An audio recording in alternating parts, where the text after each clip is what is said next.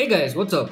In this video, I'll be showing you just 7 algorithms which you need to remember while solving the puzzle using the CFOP method. So these algorithms will be used in the third step of the CFOP method which will be the OLL step. Small disclaimer, this video is not for those people who do not solve the puzzle using the CFOP method and also for those people who have just started with the CFOP and are in the C and F stage which is the cross and the F2L. So by now you should have finished your cross and the F2L. Now the 7 algorithms apply to only after you make the cross so if you're a person who doesn't like remembering lots of algorithms and want to go with the easy ones, this is the right video for you because in this I'll be showing just the cross algorithms which are 7 algorithms. So when you're doing OLL, you just need to form the cross and after that you will have only 7 cases. So for 7 cases we have 7 algorithms. And trust me, none of them is difficult. So let's get started with the cases. This is the first case in which we have the cross and there are two headlights in the front and two headlights at the back. And the algorithm goes like this F R U R I U I R U R I U I R U R I U I and F I. Now if you're wondering why I'm saying I in front of the letters, it stands for inverted and it's much easier to understand. You can also use prime, it's up to you. So that's the first case, simple right? Now this is the second case in which you have two headlights and one yellow is on the side and the other yellow is on the opposite side. So what you do is you keep the headlights on the left and then you perform this algorithm. R U2 R2 UI R2 UI R2 U2 R and there you go you have oriented the last layer. Let's jump to the next one. Now this is the third case and it's commonly called the fish case. Now there are two subdivisions under this fish case. One is that you'll have this fish shape and the yellow will be facing on the left side where it is not on the right and it is adjacent to the formed edge.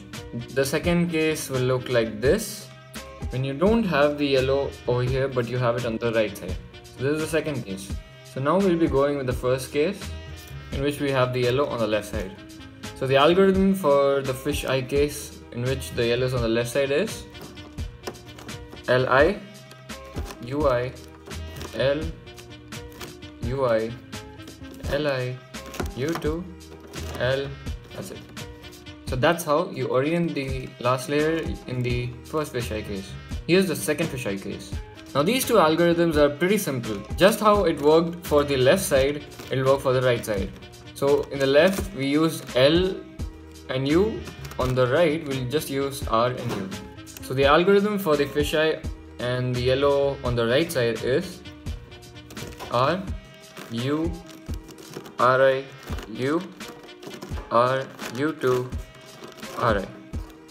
And that's how you orient the last layer in the second fisheye case. Now the fifth case is what I call the spear case. Now in this case you have just two of the yellow pieces which are to be oriented.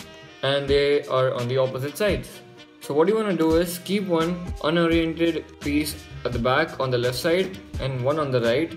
And the one on the right must have the yellow facing you but not like this in which the yellow is facing the right. And you perform this algorithm which goes like front inverted left front right inverted front inverted left inverted, front and right. So that's it, it was pretty simple. Let's do it again. So first you keep the piece with the yellow facing you and you perform this algorithm. Front inverted, left, front, right inverted, front inverted, left inverted, front, right. You go through this algorithm two, three times and you'll get it. I hope you understood till now. Let's jump to the next one. Now this case is what I call the tank case. The tank case can have two subdivisions. So in one tank case, you will get the yellow pieces on the opposite sides. So in this case, this is the algorithm which applies. And it goes like F R F inverted left F R I front inverted and left inverted. That was simple. Let's try it again. So you keep the tank facing left, one yellow piece must be facing you, one must be at the back, uh, that's obvious. And the algorithm goes like this.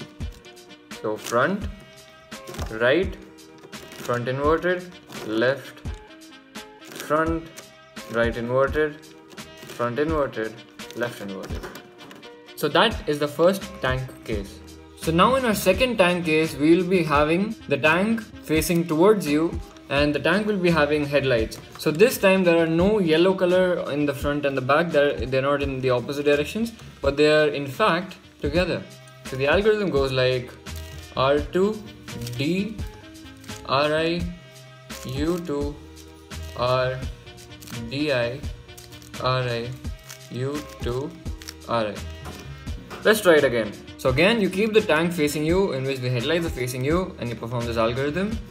It goes like R2, D, R inverted, U2, R, D inverted, D stands for down, RI, which is R inverted, U2, R inverted. And there you go, you have formed the OLL in the second tank case. Let's have a quick recap. In the beginning, there were two cross cases. The first case was one with the headlights, and the other case was one with the yellow on the opposite sides, but not on the back. So, for the one in which you have the headlights in the front and the yellows on the back, you perform this algorithm. It's R2, R2 UI, R2 UI, R2 U2, and R.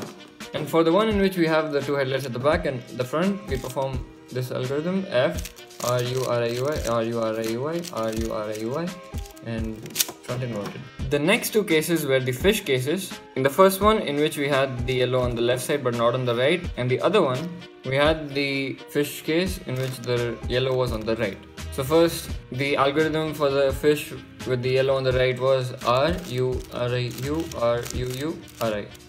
And for the other case with the yellow on the left, the algorithm goes like Li Ui, L Ui, Li U2, L. So the second two cases were the fish case in which we had one yellow on the left and one was on the right.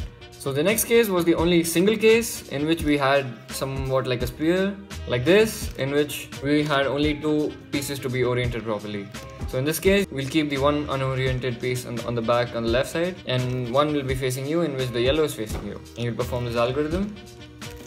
F inverted, left, F, right inverted, F inverted, left inverted, F right and you will orient the last layer. So if I'm not wrong, this will be the fifth case and now we'll be going with the sixth and the seventh case. Now the last two cases are the tank cases in which one tank case, you'll be having the tank like this and there'll be headlights in the front and the other tank case will be the tank like this but the yellow will be one in the front one in the back so for the tank case in which the tank has no headlights and the yellows on the front and the back you'll keep the tank facing left like this and you'll perform this algorithm front, right, front inverted, left, front, right inverted, front inverted, left inverted. That was simple. And for the other tank case, in which you will have the tank facing left, but the headlights will be there, which means that the yellow will be together, they'll be facing you, and the tank also will be facing you, will perform this algorithm.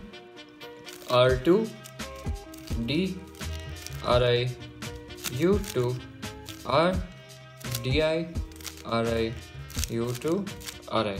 And that's how you'll orient the last layer. And that will be it for the algorithms. So I hope you understood till now and I hope what I was trying to make you understand was easy for you. So this video basically tells you that you needn't remember all the 57 algorithms for orienting the last layer. It's just the 7 important algorithms which are required to be remembered by every single cuber who's solving the puzzle using the CFOP method. But if you're thinking about reducing your solve time, I guess you'll have to learn all the 57 algorithms, which will be best for you. Thank you so much for watching. Make sure you hit the subscribe button and comment down below what you want me to upload next. So stay tuned for my next videos. But until then, keep solving and thanks for watching.